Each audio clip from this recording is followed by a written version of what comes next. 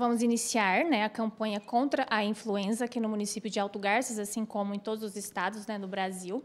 Lembrando que a influenza é uma infecção respiratória aguda, né, de alta transmissibilidade, podendo ser sazonal, né, períodos que antecedem essa época de inverno, né, que daqui uns dias chega a época do inverno, e também pode se tornar uma pandemia, né, devido à sua alta transmissibilidade. Esse ano, então, a gente inicia, agora dia 1 é, em todas as unidades de saúde, né, na unidade 1, 2 e 3. Lembrando que no PSF 4 nós ainda não temos vacina, porque nós ainda estamos preparando a sala de vacina lá, então a gente está mantendo essa vacina nas três unidades.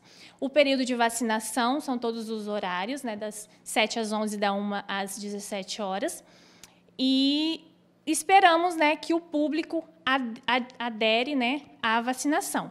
Temos os grupos prioritários, como todos os anos, né? É, gestantes, puérperas, que são aquelas mulheres que acabaram de ganhar bebê, pessoas em situação de rua, profissionais de saúde, é, os idosos acima de 60 anos, indígenas, que aqui não é o nosso caso, né? motoristas de, de carretas, né? que tem, tem aí a, a sua carteira E. E os grupos de doenças, é, de patologias, de doenças crônicas, né? Assim como também aqueles portadores de deficiências permanentes. Bom, e é importante a gente falar também para a nossa população, ô Cláudia, sobre esse passo, né? A gente sabe que a vacina da gripe é algo que acontece todos os anos e a população sempre tem aquela dúvida, por que todos os anos eu preciso tomar essa vacina? Sim, a vacina da gripe ela é considerada é, anual, né? Por quê? Porque todos os anos o Ministério da Saúde, né, a Organização Mundial de Saúde, ela pega os vírus principais que circularam no mundo durante esse período. Esse ano a gente tem o H1N1, o H3N2 e a linhagem B, que é o Victoria. Né? Então, a nossa vacina disponibilizada no SUS é a trivalente. Nós temos ainda uma, uma outra vacina tetravalente, que, são, que é apenas disponibilizada na rede particular, que daí ela contém quatro vírus. Mas o nosso, do SUS, são três vírus que foram os principais vírus de importância para essa vacina esse ano. E por isso é sempre importante todos esses grupos procurarem as suas unidades de saúde para estar se protegendo.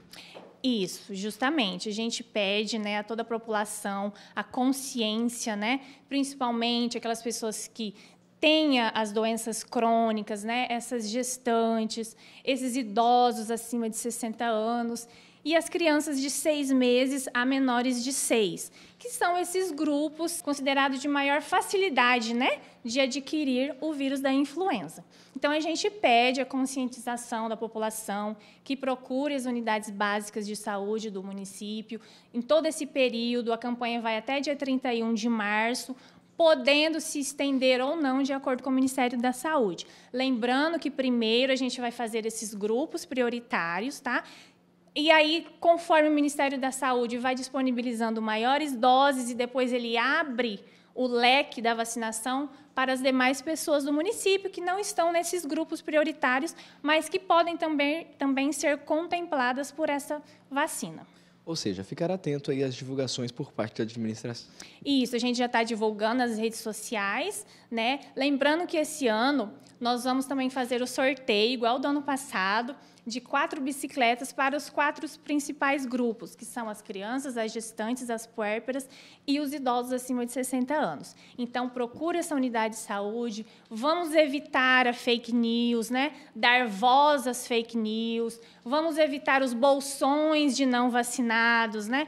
que é uma vez que eu não me vacino e eu participo, vamos supor, de uma comunidade escolar, eu fico suscetível a adquirir o vírus e eu posso transmitir esse vírus para outras pessoas que vacinaram, mas que podem estar ali com uma imunidade baixa e adquirir o vírus. Então, eu tenho que ter consciência de uma vez que eu vivo em sociedade, eu preciso estar atenta se eu sou desses grupos para me vacinar.